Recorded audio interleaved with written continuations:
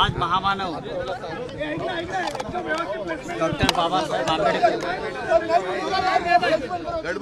यांच्या महापरिनिर्वाण दिनानिमित्त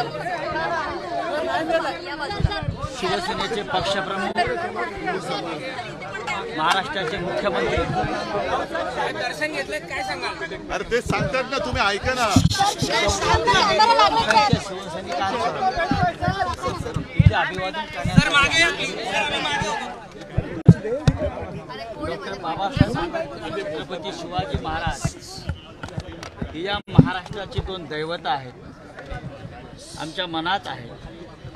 हा जो महासागर उसळलेला आहे हा महासागर या महामानवाला अभिवादन करण्यासाठी आलाय. आम्ही त्यातले एक आहोत.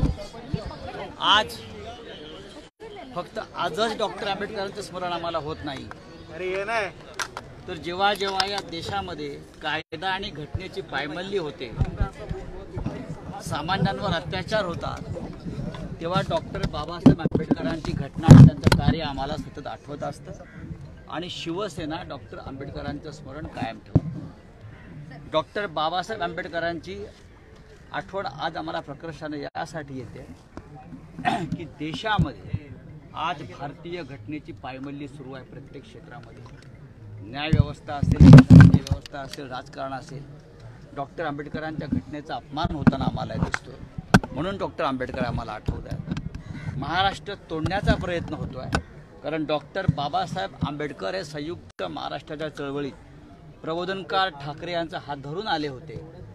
आणि प्रबोधनकरांच्या सांगण्यावरून त्यांनी या आंदोलनात सहभाग घेतला होता. म्हणून आम्हाला डॉक्टर बाबासाहेबांचं स्मरण होत आहे मुंबईमध्ये मराठी माणसाला खतम करण्याचे प्रयत्न सुरू आहेत.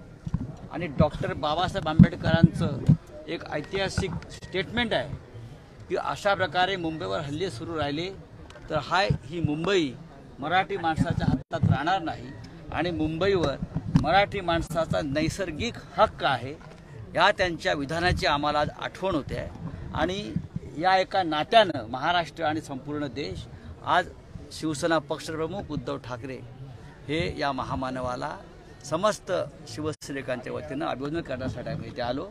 आणि आम्ही इथे आलो आणि आम्हाला खरोखर आज असं वाटलं की एका महान तीर्थयात्रेला आम्ही आलो.